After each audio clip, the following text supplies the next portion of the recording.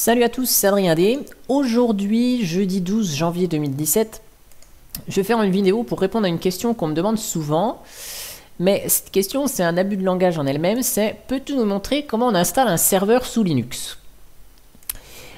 Alors, cette question, c'est vrai que c'est un gros abus de langage parce qu'un serveur, à proprement parler, c'est une machine, n'importe quoi comme ordinateur, c'est pas obligé que ce soit un gros euh, machin qui fait du bruit.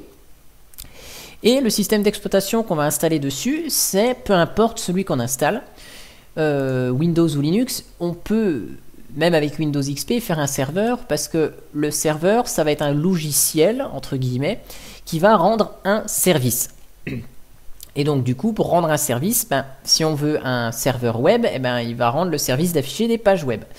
Mais vous pouvez installer un serveur web sur Windows XP. Tout à fait. Mais quand on me pose la question, est-ce que tu peux nous montrer comment installer un serveur sous Linux J'ai bien compris la demande qui est, peux-tu nous montrer comment on installe Linux en version serveur entre guillemets? Donc là, euh, moi, au travail, on utilise exclusivement CentOS. Donc là, je vous montre ici l'installation de CentOS 7, qui est la dernière version de CentOS. Donc CentOS pour info, c'est la version communautaire, hein, Cent pour euh, communautaire, entreprise OS, CentOS, voilà. Ça vient de là. Et donc en fait, ce n'est ni plus ni moins qu'un clone de la très célèbre Red Hat Entreprise Linux, qui elle est payante de par son support. Mais la CentOS, c'est exactement la même chose, euh, moins les logos Red Hat. Donc je vais vous montrer comment on installe un serveur euh, avec CentOS. Donc là, vous démarrez le CD.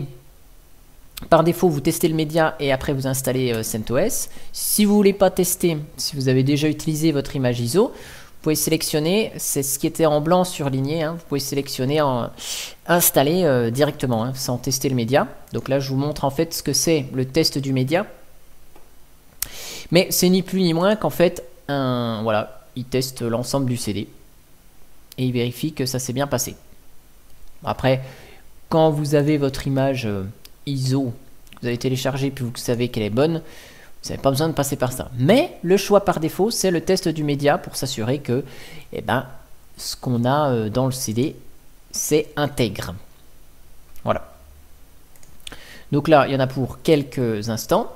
Je vais vous montrer comment j'installe moi CentOS au travail et ma petite euh, configuration après installation, enfin en tout cas le minimum pour fonctionner euh, à mon aise en tout cas. Voilà. Donc je vais vous montrer tout ça.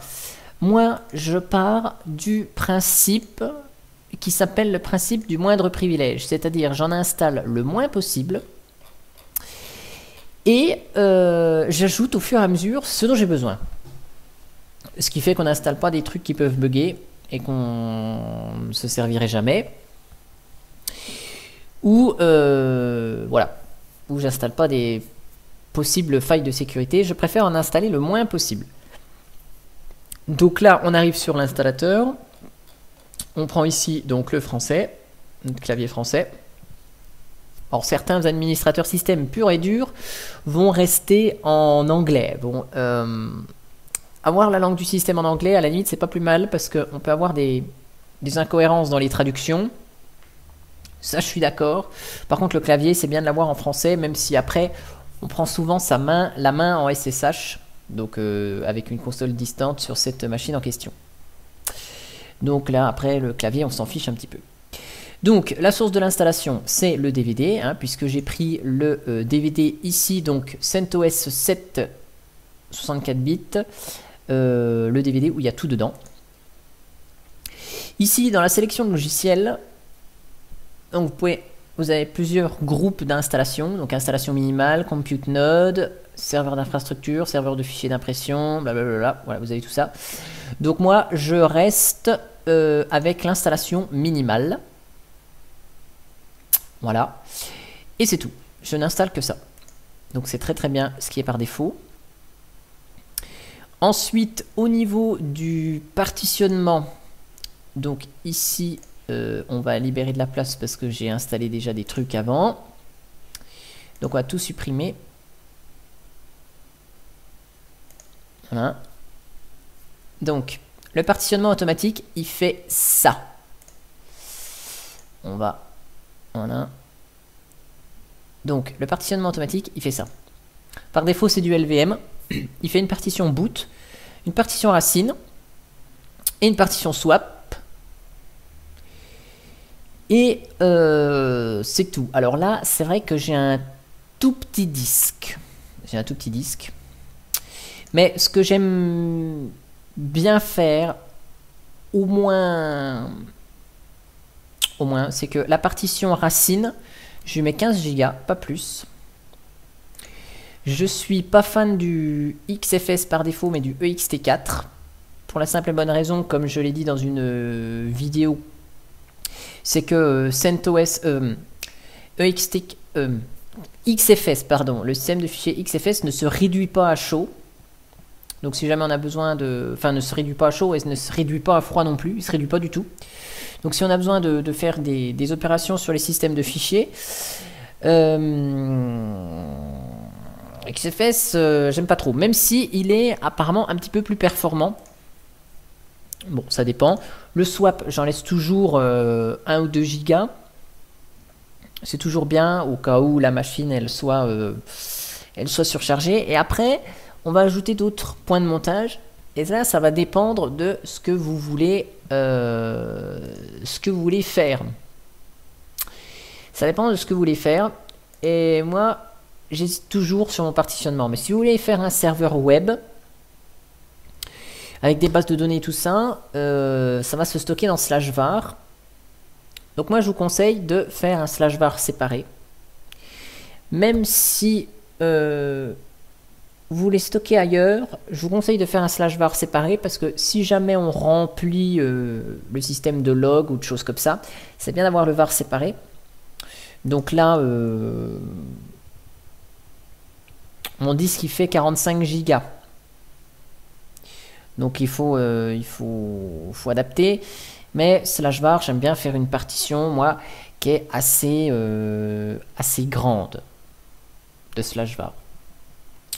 Donc là, je vais mettre euh, en proportion 20 Go. Et puis, j'aime bien faire un petit euh, slash home séparé, de manière à ce que les utilisateurs qui écrivent dans slash home, eh bien, euh, ils puissent pas remplir la partition racine. Donc là, je mets le reste. Après, c'est vrai que, en principe, je fais un petit slash home. Là, je vais vous montrer comment c'est partitionné euh, sur mon serveur. Alors c'est Calculate Linux, hein, mais peu importe, c'est un serveur. Voilà, je mets un peu plus gros, clear. EDF. Voilà. Moi j'ai fait comme ça sur le serveur, c'est-à-dire que euh, j'ai une petite partition racine, donc de 30 Go. J'ai un slash home de 130 Go parce que je mets un peu de bazar. Et puis j'ai un slash var de 300 Go. Après, il y a plusieurs écoles. Ceux qui mettent leur site web dans Slasho, mais qui font un, dossier public HTML pour le web. Mais en principe, var est quand même là où se stocke tout le bazar. Et après, dans slash home, on fait un lien symbolique qui va pointer sur slash var du bon endroit. Après, ce que je dis là, c'est mon avis c'est pas forcément celui de tout le monde et c'est vrai que le partitionnement, je me pose toujours la question de comment faire. Voilà. Donc je vais mettre tout ça en EXT4 quand même. Je sais pas, je préfère EXT4. Ça c'est un avis personnel, voilà. Donc je formate comme ça ici. Enfin, je partitionne comme ça. Mais oui, je suis plutôt partant d'avoir une grande partition var avec tout ce qu'il y a dedans. Et puis quand même une petite partition home séparée pour que les utilisateurs qui se connectent puissent stocker des fichiers, puissent euh, mettre des fichiers avant de les copier dans var ou, ou autre. Voilà. Kdump, euh, c'est un mécanisme qui permet, euh, quand le noyau il plante, de capturer des, choses. Donc moi je m'y connais pas en débugage, donc je désactive Kdump. Je n'ai pas besoin. Voilà. Ici, le nom d'hôte et le réseau, donc il faut bien y aller parce que par défaut, c'est pas activé. Donc il faut bien activer la carte réseau. Le nom d'hôte, euh, certaines entreprises nomment leur serveur, euh, ils ont une nomenclature. Moi, euh, j'ai décidé personnellement de faire une nomenclature comme suit, c'est-à-dire SRV, tirer ce qu'il va faire et un chiffre. Parce que je peux avoir plusieurs serveurs qui font la même chose. Par exemple, SRV web 01. Et comme ça, je sais que ce serveur, ça va être un serveur web. Et 01 parce que je peux avoir un serveur web 02, serveur web 03, etc. Après, certains, euh, euh, certains, certaines entreprises appellent leur serveur euh, info 01, info 02, info 03, info 04 pour les, pour les services informatiques, RH01, RH02, RH03 pour les secteurs ressources humaines, etc. Bon, il y a chacun a sa nomenclature. Donc là, moi, je fais comme ça, mais il n'y a pas, n'y a pas de meilleure façon de faire. Et puis après, si vous voulez configurer donc une IP fixe pour le serveur, vous pouvez le faire dès l'install. Là, donc dans paramètres IPv4, vous mettez ici manuel. Et là, vous ajoutez votre IP fixe. Hop, je vais mettre cette adresse IP là, je suis sûr qu'elle n'est pas prise. Donc 255, 255, 255, 0, le masque de Sorizo. La passerelle, donc 10, 21, 21, 254. Oui, j'ai une, euh, une adresse IP euh, privée, enfin un réseau un petit peu différent, mais c'est pas, c'est pas un 192.168 chez moi. Mais ça fait la même, chose. Donc là, vous pouvez mettre votre serveur DNS. Voilà. Si vous avez un domaine de recherche, vous pouvez le mettre là. Et vous faites enregistrer. Voilà. Et donc là, vous aurez votre IP fixe configuré dès le début.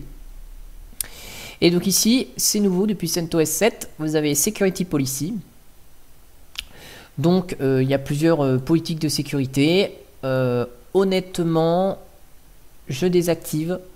Ne me demandez pas pourquoi. Peut-être parce que j'ai peur de l'inconnu. Je ne sais pas. Mais je n'active pas de politique de sécurité. Et je démarre l'installation. Ensuite, il y a plusieurs choses. Donc, il y a ici le mot de passe administrateur. Donc, on met son mot de passe administrateur qui va bien.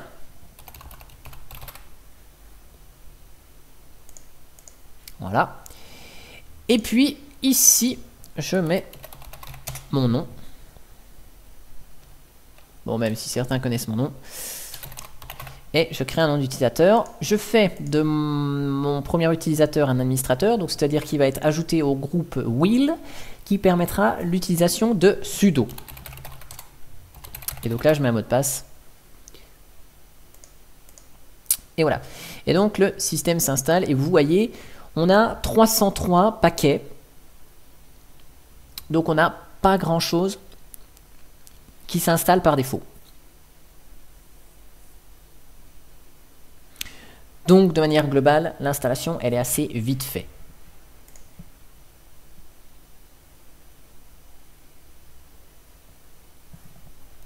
Donc on va attendre que ça s'installe tranquillement.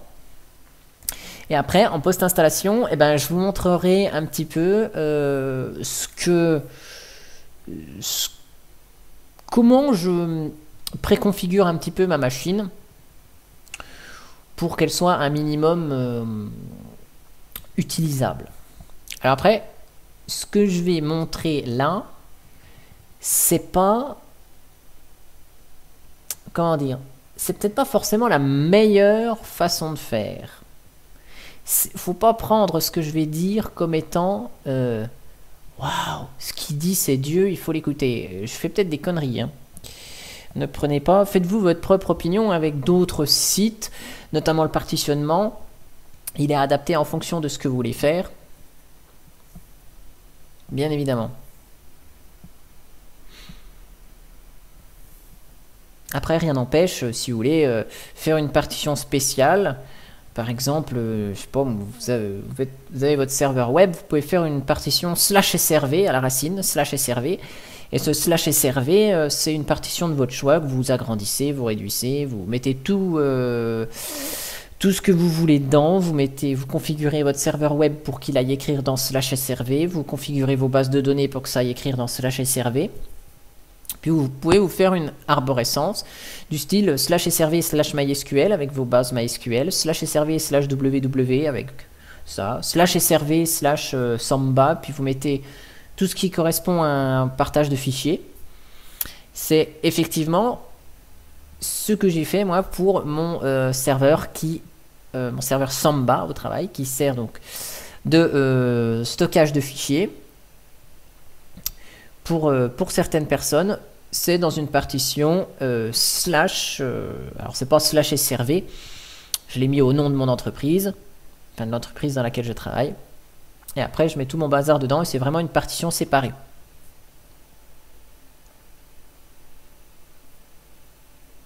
Enfin, en tout cas, pour euh, cette, euh, pour cette machine de, euh, de serveur Samba.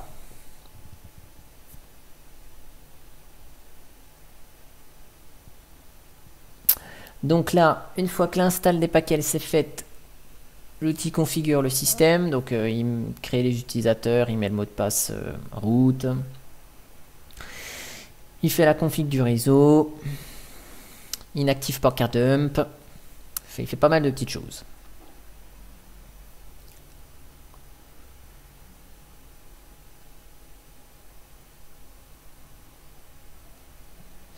Donc là, il n'y en a plus pour très longtemps.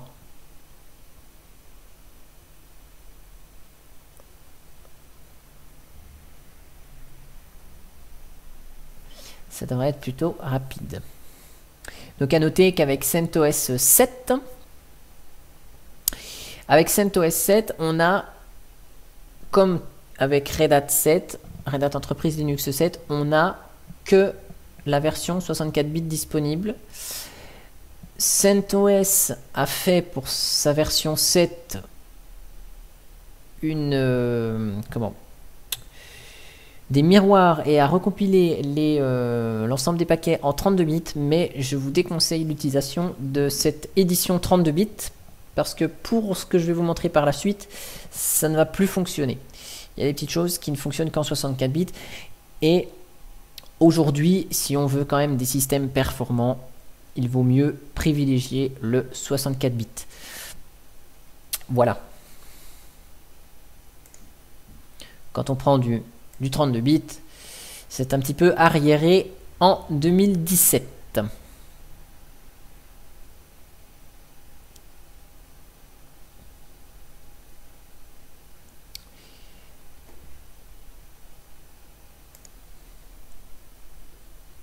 Voilà, donc le chargeur de démarrage est installé. Et on sera prêt pour redémarrer. J'aurais pu quand même couper quelques programmes pour la vidéo, ça aurait été mieux. C'est pas bien grave.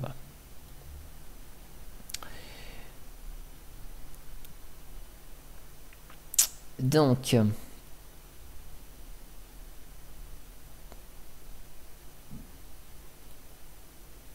On arrive à la fin, à l'aller.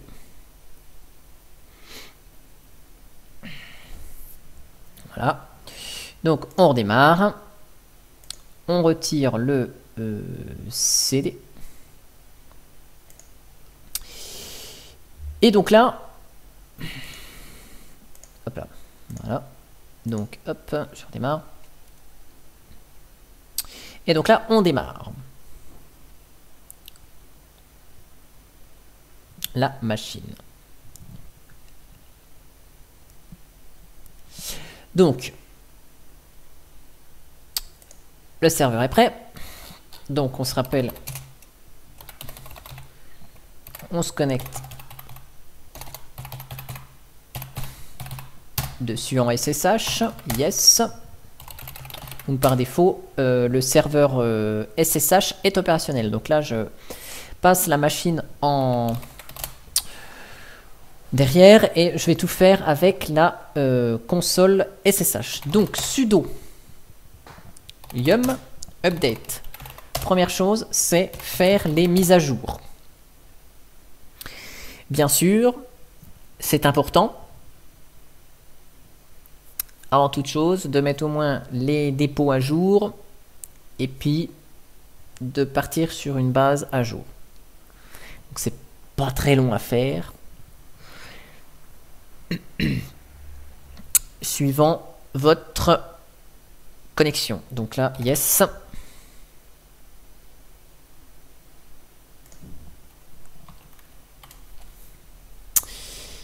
Ensuite, donc on va le laisser ça. Donc là, on active, on valide les clés.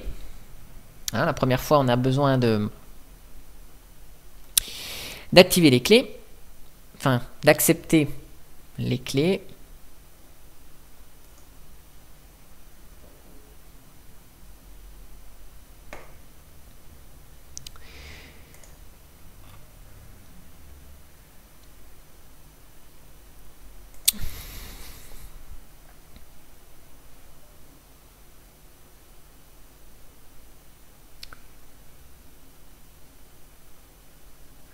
Donc là, il y a bien sûr une installation noyau. Donc, qui dit l'installation d'un noyau dit redémarrage. Donc la machine nouvellement mise à jour, on va la redémarrer pour démarrer sur le nouveau noyau. Donc on va attendre qu'il vérifie tout ça.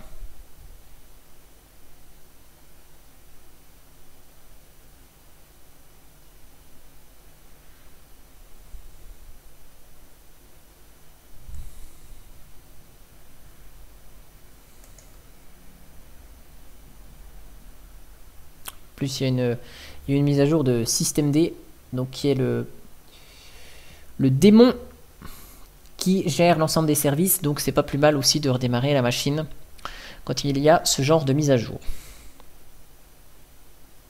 Voilà, sudo reboot. Donc là, la machine redémarre. Ce qu'on va faire, euh,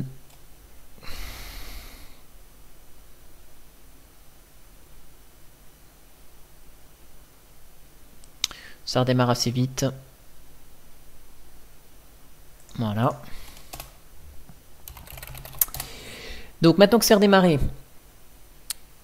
je vais vous montrer un petit truc. Donc déjà, moi, je suis euh, fan du euh, dépôt extra qu'on a dans CentOS parce que dans le dépôt extra, il y a quelques petits euh, outils sympathiques comme Docker ou des modules Python qu'on peut avoir besoin.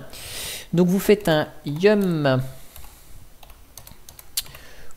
config manager, je sais même pas si euh, enable extra. Par contre, je sais pas si yum config manager est installé, non. Donc vous faites un sudo yum install yum config manager. Non. Je me rappelle plus du nom du paquet. C'est yum... Euh, quoique, attendez, sudo yum update. Je me demande si le si il est activé. Donc il n'y a, même pas besoin de faire ça. Ignorez ce que j'ai dit. Et donc, sudo yum install. Donc on va activer le dépôt upel avec yum install upel release. Ce dépôt upel release, donc euh, je sais plus ce qu'il veut dire, euh, extra packages entreprise Linux, un truc comme ça. Euh, c'est un dépôt indispensable dans lequel il y a euh, beaucoup de choses supplémentaires. Et si ça marche pas, c'est qu'il faut activer le dépôt extra. Mais visiblement là il est activé donc c'est parfait. Et donc on fait un petit sudo yum update pour faire une petite mise à jour et bien euh, valider éventuellement une mise à jour des dépôts EPEL. Vous voyez ici, ils sont activés là. Voilà. Et comme ça, ça nous permet d'accepter les clés. Ensuite, si vous êtes comme euh, moi, qui au travail avait une euh, bande passante assez limitée, et que la connexion web, elle est pas terrible. Vous allez éditer le fichier etcyum.conf. Et dedans, là, donc, vous allez tout en bas, ou peu importe, et vous mettez Donc ici, ce que je vous montre, ça va être pour limiter la bande passante de Yum. Donc vous mettez throttle, throttle. Ça, c'est une info que je vous donne. Ça peut être assez utile. Donc 200K. Par exemple, nous, on a une connexion 4 mégas en sortie. Et donc, si je ne mets pas ça, lors de la mise à jour du serveur, eh bien, il va tirer à fond la caisse sur la connexion. Si vous n'avez pas de, proxy, ça va tirer à fond, la caisse sur la connexion. Et euh, du coup, euh, ben, les autres personnes ne pourront plus euh, utiliser la connexion. Donc vous mettez throttle 200K pour euh, télécharger maxi à 200 kS. Et par contre, Yum télécharge euh, simultanément, enfin il fait plusieurs connexions simultanées pour télécharger des paquets. Et du coup, il en fait 3 euh, ou 4. Donc du coup, là, ça sert à rien parce qu'il va faire à 600 ou 800K. Donc vous mettez max connexion à 1. Voilà. Et si vous avez une donc là, vous enregistrez. Et si vous avez vraiment une connexion assez faible, je vous conseille d'installer Delta RPM. Ce qui fait que euh, Delta RPM, quand vous allez télécharger un... Donc là, je vais l'installer. Quand vous allez télécharger un RPM, par exemple, vous avez le noyau. Il est en version ici. Il est en version 3.10.0, patch 514. Si vous n'activez pas Delta RPM, quand il y aura un patch, 515e révision, il va retélécharger le RPM complet, c'est-à-dire avec les, 5, euh, 50 mégas du paquet. Et donc si vous avez une connexion vraiment très lente, 550 euh, mégas, ça va être très long à télécharger. Donc en faisant Delta RPM, en installant Delta RPM, quand il va y avoir la révision 515, eh ben, le RPM, il va télécharger un DRPM, un Delta RPM, qui ne va télécharger que la différence entre votre paquet et le nouveau paquet. Et du coup, au lieu d'installer par exemple une, de télécharger un paquet qui fait 50 mégas, bah, vous allez peut-être récupérer un paquet qui fait que 1,2 mégas. Et du coup, votre mise à jour, elle sera plus rapide. Par contre, en local, sur le disque du serveur, la, la reconstruction du paquet va être un petit peu plus coûteuse en disque dur. Donc après, c'est à vous de voir. Soit vous installez euh, Delta RPM ou non. Si euh, vous avez une bonne connexion, puis que vous voulez pas monopoliser le disque, vous activez pas Delta RPM, donc vous enlevez Delta RPM. Si vous n'avez pas une bonne connexion, vous pouvez activer Delta RPM. Ça peut être beaucoup plus rapide pour vos mises à jour. Donc là, euh, par contre, je vais juste désactiver ça le throttle et le max connexion, mais c'était juste pour vous montrer. Donc maintenant que euh, les paquets sont installés, ce qu'on peut faire aussi, c'est... Alors moi je le fais systématiquement parce que je n'ai pas envie de me prendre la tête avec SE Linux. SE Linux, c'est le petit euh, programme qui euh, permet de vérifier certaines règles en plus de sécurité sur le serveur. C'est-à-dire que si par exemple vous installez un serveur web et que le serveur web Apache il tente d'écrire dans slash root par exemple, il va pouvoir le faire. Et eh bien grâce à SE Linux, ce petit programme il va regarder qui accède à quoi et euh, si jamais Apache il tente d'accéder à slash root, il va dire oh stop t'as pas le droit de faire ça et euh, du coup euh, Apache pourra pas écrire. Donc c'est une couche de sécurité supplémentaire, mais qui dans la plupart des cas, moi, m'embête. Et euh, je n'ai pas trop envie de, chercher à regarder comment on active euh, telle option, comment on autorise celle-ci et celle-là dans SE Linux. Donc je désactive carrément SE Linux via etc 6 config SE Linux. Voilà. Et donc là, vous remplacez le enforcing par, par disabled. Vous pouvez Permissive, il sert pas bien grand chose parce que permissive va désactiver ce Linux. Enfin, il va laisser actif ce Linux, mais il va laisser passer tout ce qu'il faut. Et donc du coup, ça va générer des logs. Donc c'est pas pratique. Donc euh, soit vous activez avec enforcing, soit vous désactivez comme moi avec disabled. Et bien sûr, une fois qu'on désactive ce Linux, il faut prendre un redémarrage enfin, faut redémarrer la machine pour que ce dernier soit euh, bel et bien désactivé. Parce qu'il y a une commande pour euh, passer SE Linux en mode permissif sans redémarrer la machine, mais du coup il va écrire dans les logs. Voilà.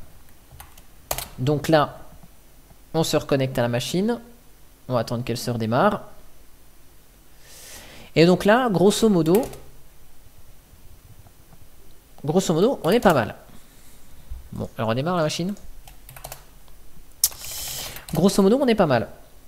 Et donc maintenant, grâce au dépôt EPEL plus extra plus euh, la désactivation de SE Linux, eh ben, on va pouvoir faire un petit sudo yum install htop par exemple. On va pouvoir installer des logiciels qui ne sont pas dans les dépôts euh, classiques de, de CentOS.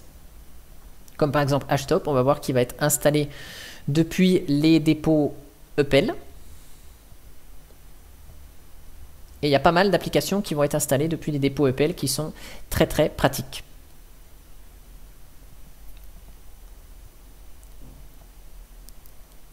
Voilà, et donc vous voyez, HTOP ici, il est issu de EPL directement. Yes. Un outil que j'aime bien, donc euh, j'aime bien installer divers outils sur ma machine. Donc HTOP, c'est quand même un peu plus convivial que Top. Nmon pour gérer, euh, pour euh, monitorer, euh, pour afficher, voir ce qui se passe sur plusieurs choses. Screen, éventuellement, le multiplexeur de terminal. Vim, pour avoir au moins euh, un éditeur un peu plus complet avec la coloration syntaxique. Voilà, ça sont des euh, programmes que j'utilise souvent. Donc je les installe assez systématiquement. Voilà. Et donc vous voyez, euh, donc là il y en a quelques-uns qui viennent de base. Non, Screen vient de base. Alors, Enmon, Enmon, je sais pas, il l'a pas trouvé. Ah ouais, Enmon il l'a pas trouvé. Ah oui, je l'avais compilé sur la machine en question.